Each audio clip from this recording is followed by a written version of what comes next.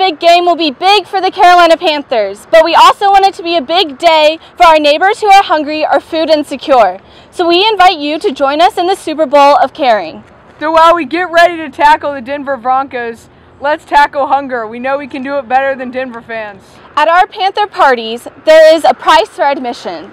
Everyone will be bringing 18 cans of food for each of our victories, and I guess Denver fans can bring 14. While our Panthers keep pounding on the field, we invite you to keep pounding with us to end hunger with the Souper Bowl of Caring.